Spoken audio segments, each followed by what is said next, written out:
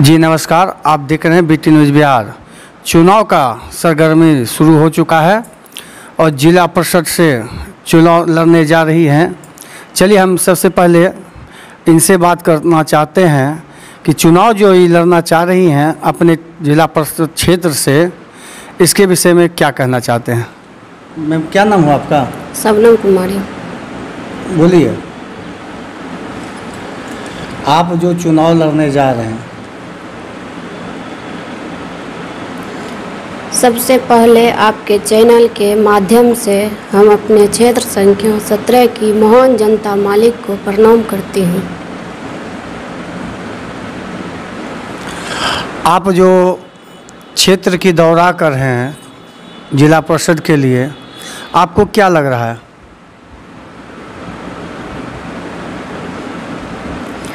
विकास का काम तो होगा ही, साथ ही साथ हम सुख दुख में जनता मालिक के साथ रहूँगी। जैसे मेरे ससुर जी सभी जनता मालिक के साथ हर सुख दुख में हर समय रहते हैं।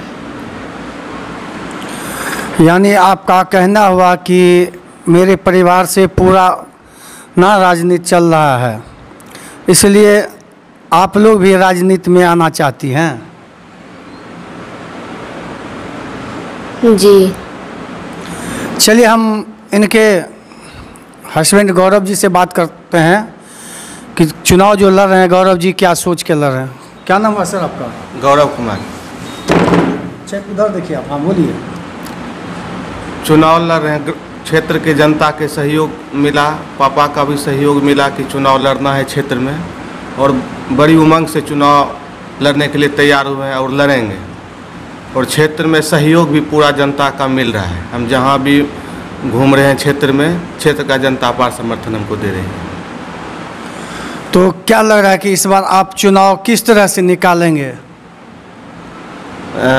मैं पेशे से इंजीनियर भी हूँ और क्षेत्र में जो कमी है उसको हम उजागर करेंगे। जो पूर्व के प्रत्याशी जीत के गए हैं वो अभी तक क्षेत्र में सक्रिय नहीं रहे पाँच साल तक। मेरा घर भी राजनीतिक घराना से है, राजनीतिक फैमिली से है। और हमारे गार्जियन मेरे पापा भी क्षेत्र में हमेशा हर के सुख दुख में मौजूद रहे हैं। और उन्हीं का मार्गदर्शन मेरे ऊपर भी मिला है, हम भी क्षेत्र में रहते हैं।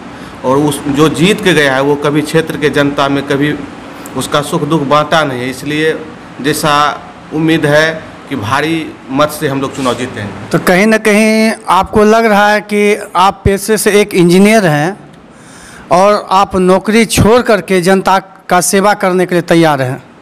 जी जी जी बिल्कुल। नौकरी छोड़ के जनता के सेवा में हम हैं और जनता के सेवा में खड़े उतरेंगे। तो क्या यह सेवा आप कर पाइएगा? जी बिल्कुल करेंगे। जब नौकरी में कोई भी आदमी शिद्दत से वर्क करता है जब क्षेत्र के जनता के बीच जाएँगे उसका काम भी हम शिद्दत के साथ करेंगे। आप देख रहे हैं बीटी न्यूज़ बिहार और मैं पवन कुमार सिंह खगड़िया से।